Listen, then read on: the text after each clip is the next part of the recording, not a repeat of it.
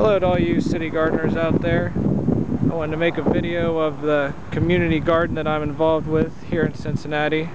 Show you some of what's going on here. Maybe you can get some ideas for your own garden. There are deer, so people have different ways of trying to keep them out. This guy simply stuck some posts and uh, wrapped some netting around. Probably just untwirls it to get in.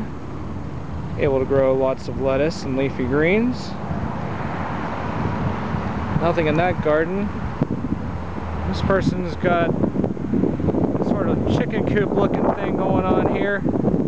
This side's wide open. I suppose he's going to build a door here. Hasn't planted yet, but looks nice and sturdy.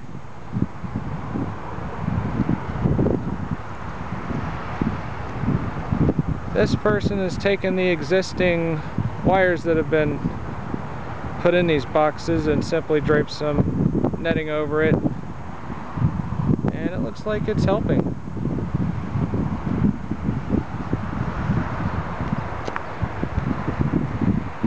This is a nice one. Simply put stakes around wrap the netting around. Just left a hole in the bottom for the rabbits to get in there. Probably have to correct that And this one surrounds three beds. Giant PVC structure, which can get a little costly, but it looks like they're serious about it. They want to grow a lot of food.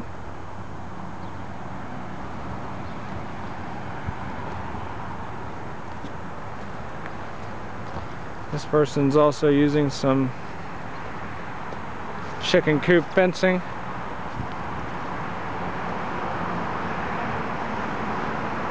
They're growing basil, peppers, strawberries. And this person's protecting their weeds. And these two are my neighbors and I plot. And we're about to build ours out of PVC too.